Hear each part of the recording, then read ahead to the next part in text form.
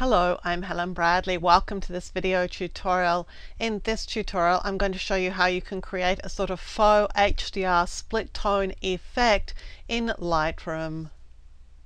Before we get started with this tutorial, let's have a look and see what it is that we're trying to achieve.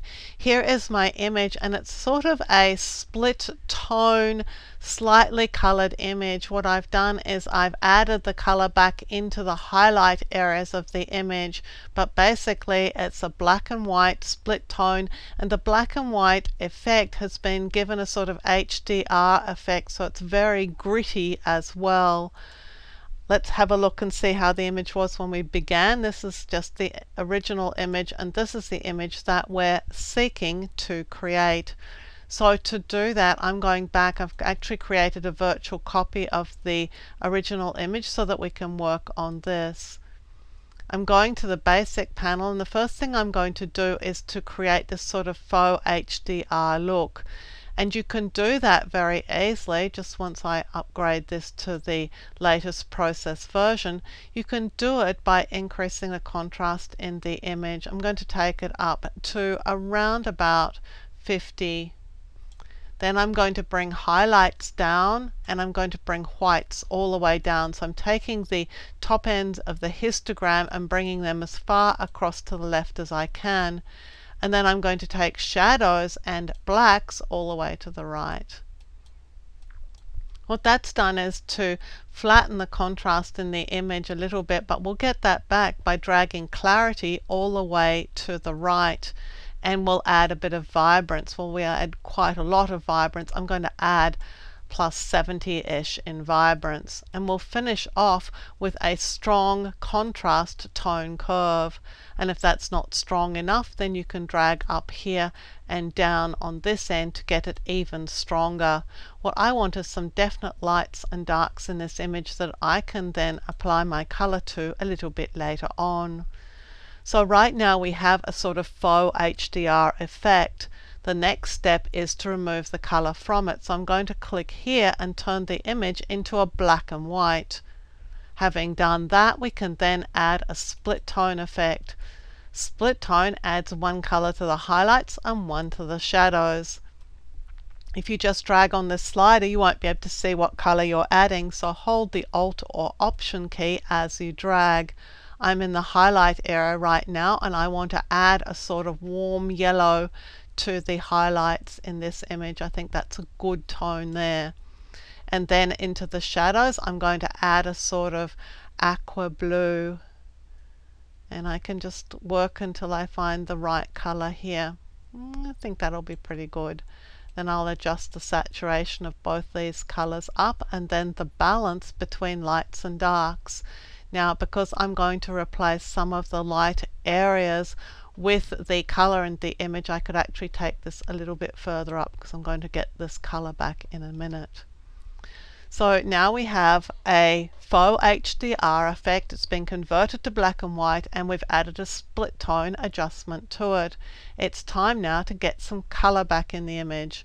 To do this I'm going to click here on the color tab and that brings all the color back into the image. Now we can selectively remove it. I'm going here into the adjustment brush and I'm going to adjust my brush size to be really big.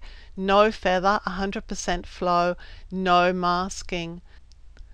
I'm going to click on the image here to anchor the adjustment brush and now I'm just going to drag over to apply that adjustment to the entire image. If I show the selected mask overlay you'll see that the entire image is covered with this mask overlay and because I have saturation set to minus 100 we've removed all the color that we just put back into the image.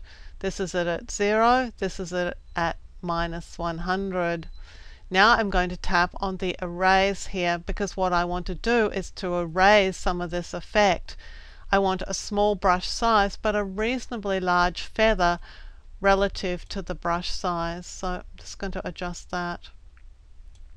I don't want full flow so I'm just going to adjust the flow down and I don't want auto mask.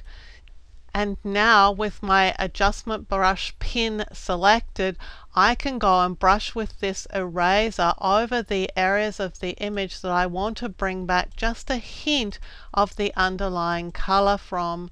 So I'm going to brush over my bicycle rider here. I know that there's some really interesting color in this pavement here, so I'll bring that back in as well. And then I'm just going to tip into the highlight areas of the image and just try and bring back just the tiniest highlight of color. And because this brush is a low flow brush, we're not getting all that effect back in just one brush, but we can brush over it a few times if we find some interesting color that we want to bring back into the image. So effectively you can choose at this point which of the colors underlying from the image that you want to bring back in and what sort of detail you want to see.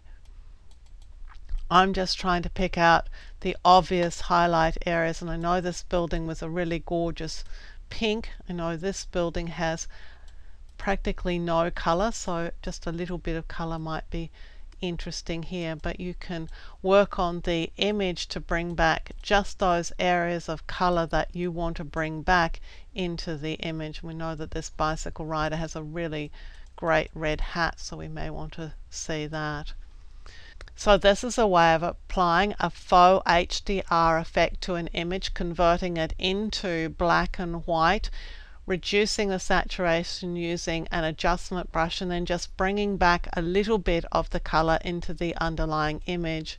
Of course we could bring back as much color as we want by just adjusting the saturation slider but we're sort of opting for nearly a minus 100 in saturation and then just bringing it back by erasing the effect of this adjustment brush can see here that the adjustment brush has been erased in these areas to bring back some of the underlying color into the image. I'm Helen Bradley. Thank you for joining me for this video tutorial. Look out for more Lightroom, Photoshop, Illustrator, and other photo editing tutorials on this YouTube channel. Consider subscribing to my YouTube channel and you'll be advised when new videos are released. Visit my website at projectwoman.com for more tips, tricks, and tutorials on Photoshop, Lightroom, Illustrator, Photoshop Elements, and a whole lot more.